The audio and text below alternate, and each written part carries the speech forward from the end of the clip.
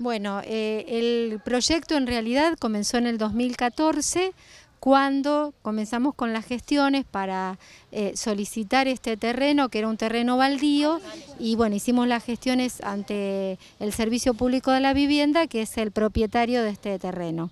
Y poco a poco eh, se fueron sumando actores, entre ellos un, vivero del barrio, que fue quien nos diseñó este, este espacio, y bueno, y toda la comunidad educativa fue aportando para transformar este terreno baldío en este, en este lugar de disfrute de la naturaleza. ¿no?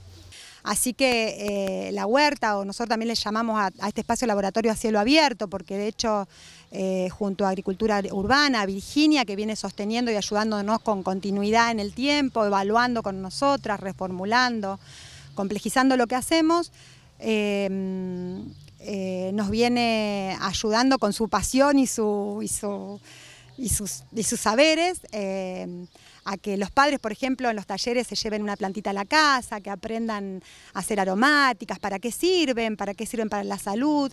Eh, los niños también le van enseñando a sus padres, porque también los niños son los que sostienen este, en el día a día con el regado, con, es muy, eh, sostenerlo es una demanda diaria eh, continua, digamos, no podés venir un día y otros no. Me encantó todo, cuando mi hija me contó de la huerta dije, ay, qué lindo que tengan una huerta en un jardín fantástico, me gustó mucho.